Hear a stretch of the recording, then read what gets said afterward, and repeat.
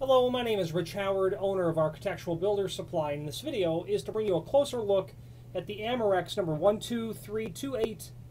This is a Type K fusible link, 360 degree Fahrenheit.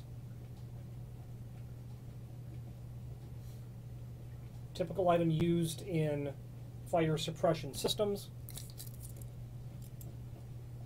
Overall length, two and three eighths overall width, three quarter, center to center on those holes, inch and a half. Give you an idea of the diameter of the hole.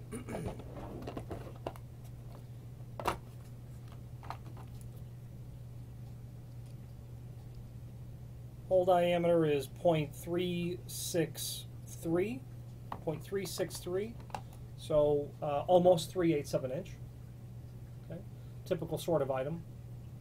Amerex wet chemical system is where this is out of, and it's a 360 degree Fahrenheit operation. When the uh, temperature reaches that amount, the lead that's between there, or the soldering that's between there, will fail, and the two pieces will separate.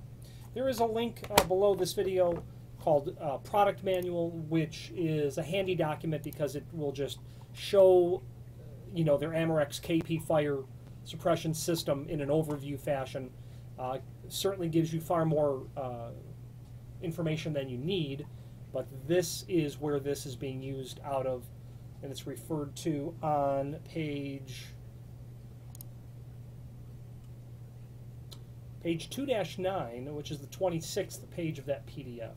If you have any questions on the Amerex 12328 Type K 360 degree Fahrenheit fusible link or any other Amerex product, please feel free to reach out to us.